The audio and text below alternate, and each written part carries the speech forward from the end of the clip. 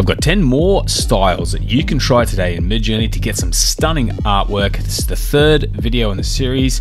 I've got something different for you today. Just pop these at the end of your prompts, except for one, which I'll mention when I get to it. And the first style is palette knife painting, which creates a palette knife painted effect and you can see here with the woman's face it looks very three-dimensional and very sort of traditional art-wise I've added the Terminator in here to see what kind of result we get with that it does a pretty good job uh, futuristic car actually has created a futuristic car but in a really old-fashioned style of painting which looks kind of retro and cool and Bruce Lee, which I think has done an amazing job on capturing his likeness and turning it into some pretty cool art. But the next one is different again. It is called glitch art. And basically, if I add this to any image, it creates like a glitch effect, kind of like an old, a poor digital video.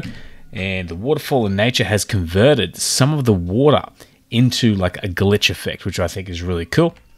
Also, we have the futuristic car again. We've got glitches down the side of the buildings and around the wheels, and it kind of has a 3D glitch effect on the object. And a modern family home, state of the art, has created a bit of a glitch overlay and created something a little bit different.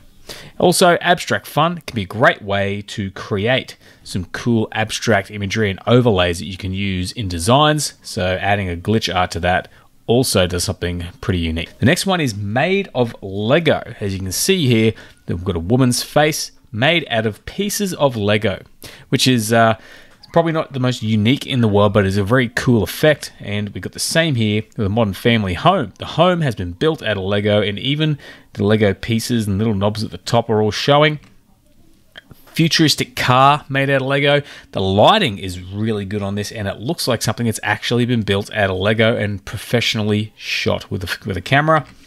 We've got Optimus Prime made out of Lego, which I think is a little bit different. They can never seem to capture the Transformers well, but they do a good job in this one. Uh, I think it turned out pretty well. And a waterfall in nature made out of Lego. Another uh, pretty interesting take on a waterfall using Lego. Now, also to couple that, we've got Lego figurines, which is a different result again. If I try the same thing, waterfall in nature, it pops a figurine in there. But the best thing is when you start giving it characters like the Terminator, it creates a Lego figurine out of that character. Do the same for a samurai warrior in front of Mount Fuji, and he's got a little stand, and we've got some mountains in the background. Bruce Lee, again, they've created a figure. Once again, I think they've referenced that yellow and black tracksuit from the movie Game of Death and turned him into a Lego figurine. And Mickey Mouse, a little bit more of a made out of Lego effect, but using Lego figurine, they've been able to do something with that, which I think uh, has worked out pretty well. Newspaper print collage. This is a really cool effect for designers, or something a little bit different, where it creates something like a woman's face using pieces of old newspaper and print and once again, the Samurai Warrior has a really cool effect where it's kind of overlaid an image over the top of newspaper. Or the same again with Optimus Prime, adding a painting over the top of the newspaper. Or this one here, where it's kind of still pieced together in newspaper, but also pieced together a car out of those bits and pieces, which is another unique effect using this keyword. And again, Thanos, they haven't actually done him yet, but again, they've put the picture over the top of the newspaper, but it's still kind of got that collage look and feel to it. And also looks like it's aged, like it's been pulled up underneath the carpet and uh, has a really uh, unique old fashioned look to it. Ink dripping drawing is one I used to use a lot of, and with the woman's face, it just creates a really interesting effect with ink dripping off the picture after it's been painted. But move on again to Bruce Lee. It's captured the likeness and created some sort of very traditional art out of his face. And again, with the Samurai, you can see how it's framed it up nicely and added bits and pieces of color in it this time with little inks and sort of blots of ink all around the paper. And a modern family home, just a very traditional looking image with ink dripping art. And the Terminator, it has that ink dripping look to it and has captured the likeness pretty well again. But uh, I also found these very useful for overlays in design work for graphic designers, but uh, with more abstract themes. But uh, moving on, we have action figures. It does a pretty good job of converting people into action figures. Here is a woman's face and has a this actually looks more like a statue but i always like to keep this in here as a form of reference because it's more generic and shows you from theme to theme how things can look but the samurai looks like a little action figure in front of mount fuji which i think has worked out really well in the home. This looks really interesting. It actually looks like a model that someone has built in their house of a modern family home. And this is obviously a family that's loaded because I don't know how many people I know have family homes with four levels to them. But a futuristic car, once again, like a retro 70s uh, action figure car, but uh, with that futuristic look to it. And the Terminator again, it's created an action figure of the Terminator. The likeness again is really cool, but it looks like an actual action figure, which I, I'm just really impressed by how Midjourney is able to perform that sort of trick with this phrase. Now, ASCII art. The idea of this was to try and get art made out of letters on a computer, but it didn't quite do that, but does create a similar effect, which is interesting. I've got Darth Vader's helmet. It's created almost like a three-dimensional grid look around it.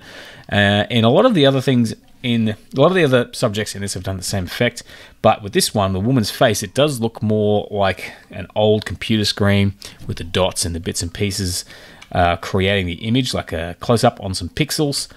And this time, the futuristic temple, it's got that ASCII art look, that old computer look to the art style. Incredible Hulk has done the same again, an old-fashioned art style, but opting for the more of a green screen effect because the Hulk is green. I like the way it kind of throws in little twists like that into the image.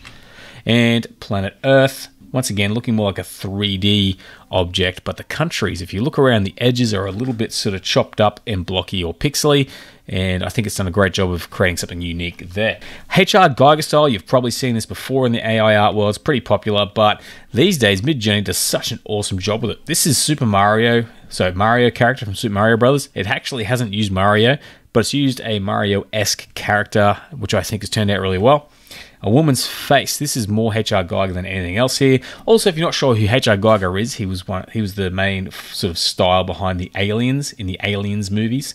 So you can kind of see that here with the woman's face. A futuristic car. This looks really cool, like a 3D render of a car that also has that gothic sort of feel to it. And I think it's turned out like a. This is really good image. This one.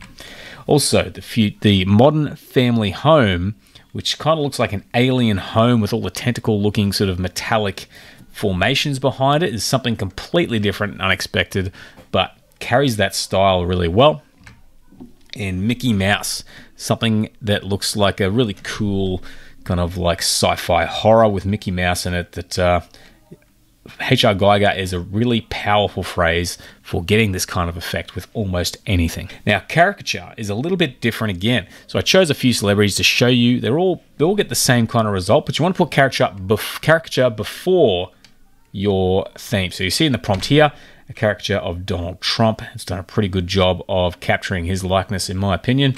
And the same Darth Vader, it's done something a little bit silly with it because it doesn't have a face, but it still has actually done a good job of creating something comical out of it. Arnold Schwarzenegger, once again, a cool looking image that really does capture what he looks like, but in that really fun sort of caricature style.